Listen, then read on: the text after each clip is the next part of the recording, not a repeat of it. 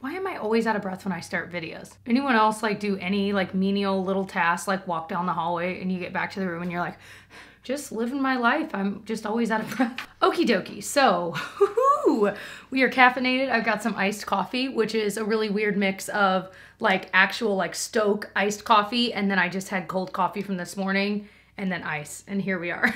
Actually does not taste bad at all. I mean, coffee and more coffee, of course, tastes delicious. So today we're doing a full face of drugstore makeup. Some of these are old love, some of these are newer to me, some of them have just been sitting in my stash for a while and I wanted to use them some more. So it's a solid mix. I also have two e.l.f. brushes I've never used that I wanted to give a try today. Of course, if you enjoy this video and you like drugstore makeup videos, makeup videos in general, lifestyle videos, I do them all here on my channel. I would love it if you subscribed. It is free, it helps me out a lot, and of course it makes my videos easier for you to find in the future. Okay, let's dive in, shall we? So we're gonna start with this Revlon Pore Reducing Primer. I really have been enjoying this, and the only place that I put it, I've already like moisturized an SPF a little while ago. A couple of caveats to this is every time you squeeze it out, there's always a little hard thing, even if you use it every day. I pretty much only use this on my nose and then whatever's left on my fingers, I'll kind of fan out in my T-zone area. My nose is the notorious N-O-S-E. Like it is just so I don't know, like it's oilier than the rest of my face. I really do have a normal to dry skin type, but I feel like my nose is sometimes weirdly dry and foundation looks weird on it. And then other times it's so oily and weird and so nothing stays on it. No matter the stitch, it's also always red. So I'm just constantly battling with it. So I feel like this does a good job at least filling it in. So when I'm in a rush, this is the step I cut, but when I have the time, I really do think this does a great job. I'm a little torn with what I want to use today. I grabbed the CoverGirl Clean Fresh Skin Milk. This has actually been living in my bathroom when I'm doing like four minute makeup. This is what I throw on and I'm really enjoying it for that. And then I also grabbed the L'Oreal Infallible Fresh Wear Foundation. I have the shade 405. I haven't used this in a hot minute and I remembered liking it.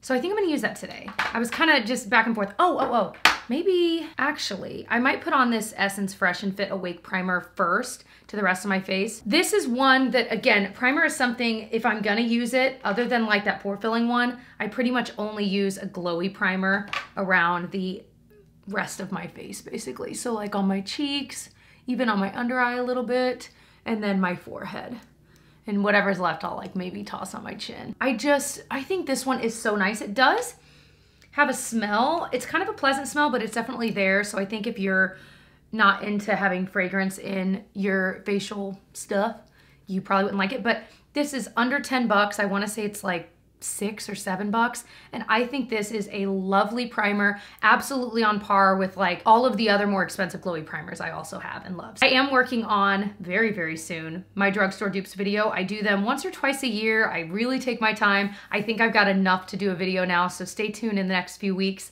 that will be coming. If you wanna see some of my other dupes videos, I'll link my dupes videos down below because you could binge them. I still stand by all of the dupes I've discovered over the years and it'll save you a whole lot of money. Okay, okay, okay. So now that we are primed, let's do the L'Oreal one.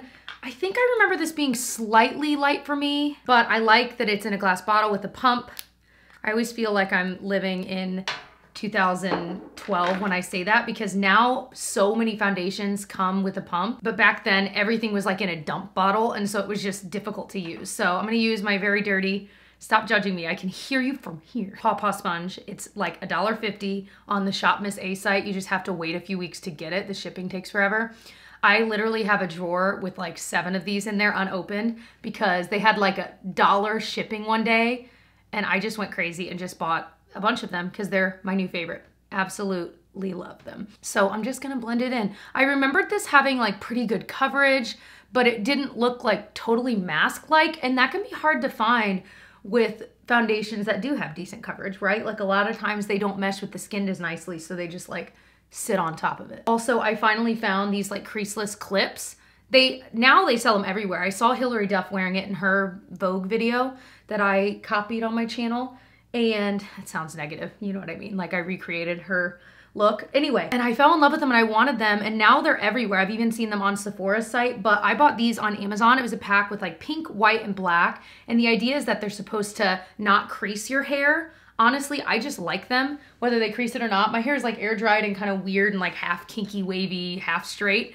So I don't really care if it creases it, but I just, it's great. It holds the hair back and they're like weirdly trendy right now.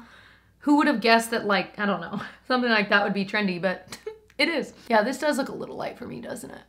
Oh well, I'll somehow survive it. Sometimes I giggle when I watch videos of people like that's the wrong color. I feel like I've done this numerous times, so maybe I've just I've transcended and now I can giggle at other people that are doing the same thing I did. Okay, but just when people are like making it such a dramatic moment that something isn't the right skin tone. Yeah, I've definitely been guilty of that. How dare you judge other people, Jesse? Let's look at it up close here. We are in pretty much natural light. I have two small lights, but it's really just the window light. It definitely covered a lot, like the redness on my nose. I feel like it's sitting nicely. Look at that. You can still see the sheen in my skin. I remember, and I don't know why I thought this. When I first saw this and saw that it was called fresh wear, I thought it would be more like dewy. And then as like I tried it out and I watched other people try it out, we all like collectively realized, no, I think it's more like a full coverage, but it really does like let your own skin shine through. This is so beautiful. Cool, cool, cool, cool, cool, cool. I was a little torn with concealers, but this is the one I've landed on. The Revolution Conceal and Hydrate. I've only used this a couple times, so I really do need to figure out how I feel. I have the C3 shade, and I'm just gonna use like two dots because this, it's a lot. And then I'm gonna use a brush. I have got to clean my brushes. You guys, how long is a stay-at-home order? Like five, six weeks. I have no excuse. Why have I not cleaned my brushes yet? I just haven't. So I'm just gonna kind of press it into that area. I'm trying to be better about only using what I need and really using it where I need it. And I really just need it there. And then I can fan it out a bit. But I feel like I always like cover everything. And the reality is I don't have darkness to cover here. And then it just gets into my fine lines there. So just being smarter about how much I use. So it definitely covered like any of that blueness. So without and with. That's nice. Does anyone else feel like the weeks right now, maybe this is true always, but especially right now are flying by faster than normal? Like the weekend will come and I'm like, okay, it's the weekend. I have like mixed feelings about the weekend now because I'm like, I don't, like there's a part of me that's like, I don't know, what do I want to do this weekend? Like we can't go do much. So in the weirdest way, I like, this is going to sound awful, like dread the weekends because at least during the week I'm working so I'm getting stuff done and I that's just the way I roll. So unless I have like a project I'm doing over the weekend, I I don't love them right now. Is that not the am I crazy? Anyone else? So anyway, of course in the end I always end up enjoying the weekends. We'll Zoom with people, we'll do like game nights with friends on Zoom. So it ends up being enjoyable nonetheless, but I don't know. That's just the way my brain works. I like being busy. I like having schedules. And on the weekends, right now, we don't have, you know, big set concrete plans and that bothers me. Okay, why did I bring that up? weekends. Oh, the weeks are just flying by. Like the weekend will come and I'm like, okay. And like today is Monday and I'm like, yes, let's go, let's work. I'm in a great mood. And then I feel like I blink and it's Friday again. And I'm like, what? I don't think it's like perfect. I don't know. Is it because I'm not blending it well? Could be. I don't think it's bad. Like it covered nicely. This is again available at Ulta and they have their regular conceal one. I can't think of conceal and define. And then this is conceal and hydrate. I do think I prefer this one over it, but I'm, I don't know. We're just gonna see. Oh crap, I forgot I had this, the e.l.f. buffing foundation brush I wanted to use for foundation. I just cannot find a brush I love for foundation, you guys. I really can't. I've tried so many that are out there that are like people's holy grail and I just would prefer a sponge or my fingers. I, you know what I mean? I feel like no matter what brush I use, it ends up being either streaky or like weird texture and it just doesn't look right. But I also have this Ultimate Blending Brush and I've heard people use this for like cream, contour, cream blush, things like that. So we might do that today too. I have this ColourPop Brow Boss. I have the shade Ash Brown and I think I remember it being a pretty good match for me. Uh, I don't have caps on these because my toddler takes them all off. I had to spend a minute like doing this to kind of warm it back up and get rid of the dry part that was exposed. Um, but I think we're good. A little bit more definition, especially on like the bottom there. That'll do. So we definitely need to powder this concealer because as it's sitting there, it's just getting kind of weirder. I don't know that I love this. I'm really into using like just a corrector shade there right now the past few weeks. So I haven't used like liquid concealer a ton. And now it's starting to catch on to like little dry spots I have. I'm just gonna use the thing, it's like the only under eye powder I'm using right now, the number seven Lift and Illuminate powder. This is like the stuff I always talk about that like flattens your under eye. I can't explain it other than that. It's so amazing. See what I mean by it just kind of gets that area a little bit flatter than without it. I'm not loving this concealer. You can see how it's just catching so weird. So I've been wanting something to give me a little bit more control. This Wet n Wild contour stick, you guys know I love. I think it is fantastic, but it is a little harsh on me when it comes to the color. It's not the perfect bronzer shade for my skin tone. And so because of that, I feel like a lot of times I'll do it on camera, but that looks really good. It's creamy, it's easy to blend, it stays really well. But then when I get in daylight, I'm like, oh, it's a little orange for me. So I wanna be a little more careful. So I'm gonna try to use this e.l.f blending brush, the ultimate blending brush with this and see if like maybe if I just get it on my brush, I'll have a little bit more control. You see how orange that is? Okay, now I'm gonna wipe some off because it's like already, that's how creamy this stuff is though, which is nice. Yeah, that already looks so much better. Again, it's still a little orange, but like it's so much less than, you know, with a lot of other sticks, I have like the milk one, I'll just draw it on, but it does end up being a little bit much. This brush is so soft. I feel like I haven't tried e.l.f. brushes in a hot minute. And as I'm like rushing through the store the other day, grocery shopping, we needed like allergy medicine. So I was in the area of the store that had this and I was like, I'm just gonna grab like a couple things. I was glad I grabbed these really quickly. This looks so much better. It's so much easier to work with this way. Who was I watching just the other day that was applying a bronzer like this? And I was like, yes, yes, yes, yes. So it looks nice. I think it looks a little more natural. Well, obviously it's still a bronzer and it's doing its job, but are there other shades of like the bronzer that you guys would recommend? I'm trying to think if there are any. Okay, so I wanted to try this. It's a little bit newer to me. This is the Revlon powder blush. I'd never seen these. It's their Oh Baby pink color. I actually bought this a few months ago at the store, but by the time I had opened it, it had like cracked in a couple places. This color is Oh Baby Pink and I just feel like it's such a nice springy pink. This brush, my gosh, I get so many questions about this brush. This is the Zoeva, Zoeva 111 Petite Face Finish. I like it for blush because you can just kind of tap it in the area you want. Ooh, this definitely has some color to it. It's really pretty though. But it's definitely pink. So like if you're not in that, but it's not like a blue tone pink. It's just it's like slightly blue tone. I can't explain it. It's just such a perfect springy pink. They had a couple of other shades, so just FYI. The highlight I wanted to use is one that I have been using behind the scenes so much and I you don't even make a dent. It's a loose powder and it's a luminizing one, so I use it as a highlight. This is one that Taylor Wynn introduced me to. I freaking love it. It is the most natural, gorgeous, loose powder highlight, but it's not glittery, so you don't feel scared to put too much on, you know what I mean? I just kind of go to town because it is, look at that. It's just so easy, you guys. I, uh, it's almost as if you could if you could come up with like a loose version of the essence highlight that I love that's a little more natural, you'd get this. Like this is so gorgeous. It definitely has a sheen, but it's not glittery, it's not over the top. So you can put tons on and it just always looks so beautiful. It catches the light nicely. It's one of those that makes it look like, is she wearing highlight? I can't tell. Is she just naturally dewy? Maybe. So I wanna use a couple different things. I wanted to give some love to the Maybelline Color Tattoos. I've been enjoying these lately. This is the shade High Roller.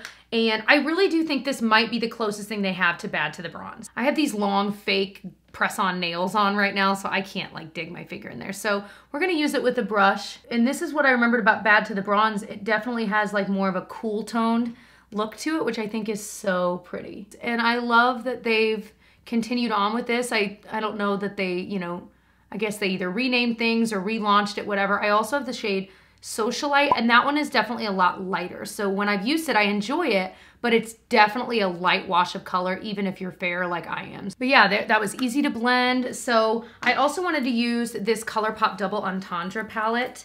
This is one that it's definitely a warm toned palette. So if you're a warm toned baby, here you go. But I really like it. And there's some really pretty colors in it. And I really just wanted it for the blending colors, just to blend something into the crease.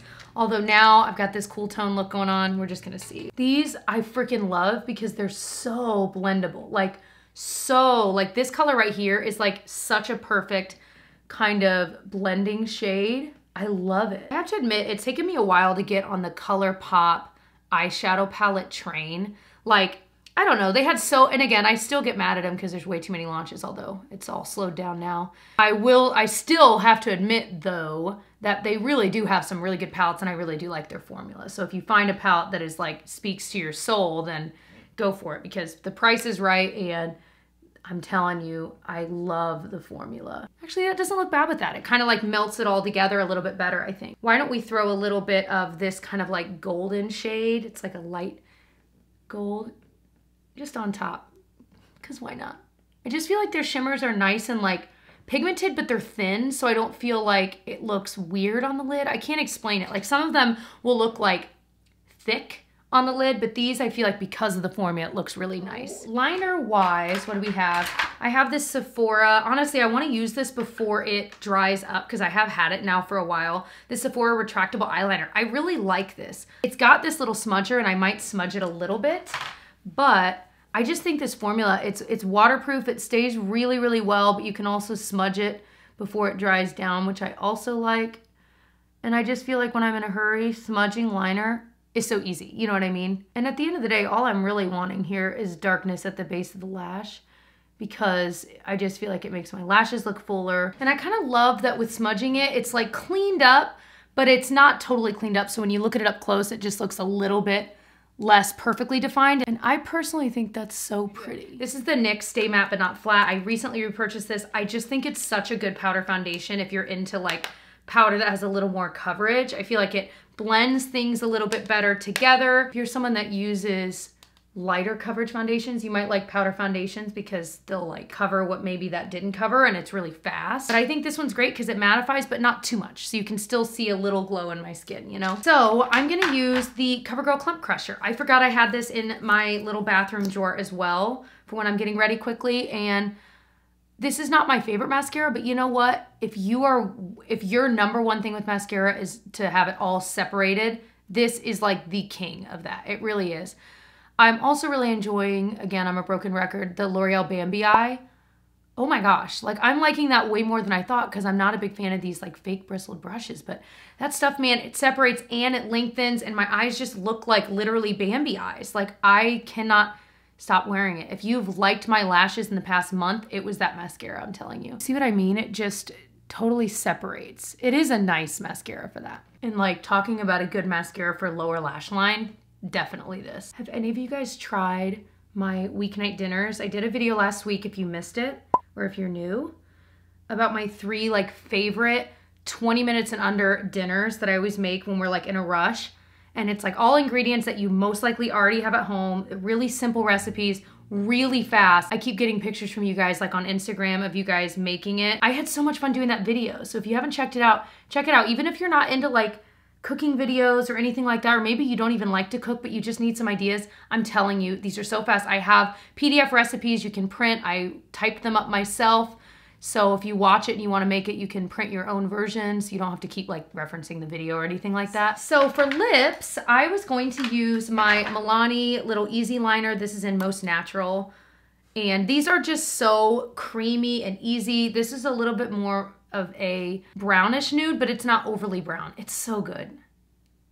And I like to color it in just a bit so it's not so starkly lined, you know what I mean? One of my tips I've talked about in like my Invisalign video is a lot of times because I get lipstick on my Invisalign, that's why I haven't used a lot of like crazy bright colors on my lips right now. I only have, by the way, like two more months and I'm done and I cannot wait. But I was talking about tips to not get it on there and one of my biggest ones was just taking a good lip liner and just coloring your lips in with it and then put a clear gloss on top because then the color is not really going anywhere. Lip liners pretty much stay put but then it's still moisturizing glossy, but the clear gloss getting on your Invisalign doesn't matter. You can't see it. So I love that tip and honestly it's kind of one that like I feel like I'm going to use even past all of this time. And then I wanted to use, I know I keep using this, but I think it's such a great lipstick, this Maybelline lipstick in Flush Punch. It's like the perfect, simple pink. It's not bright, bright pink. It's a little bit more nude, but it's not brown.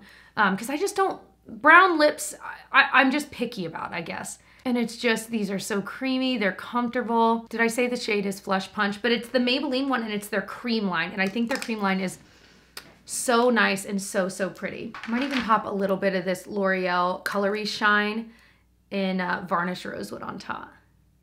I just love all of those lip products. Honestly, I just wanted to use all of them. Okay. that was fast. I feel, well, I'm saying that. We're gonna see. It's gonna take me a hot minute to edit it. I hope this was enjoyable. Of course, I always have all of the things I mentioned, the prices and links down below. I hope you subscribe to my channel to be able to catch more of my videos. Of course, if you want to binge watch any, I've got playlists down below, some of my most binge-worthy ones, in my humble opinion. Those are down below. And of course, I'd love to say hi to you in the meantime on my social media. It is at It's Jessica Braun everywhere. Don't forget to catch our weekly vlogs, which are over on my husband's channel, which is Tyler Travels TV. Tyler Braun is his name. And we put those up every weekend. I always talk about like beauty and makeup over there. So if you didn't know, like you're going to get your beauty fix. Don't even worry I love you guys so much. Thanks for watching all the way to this point. Holy moly. I'll see you guys in my next one. Bye.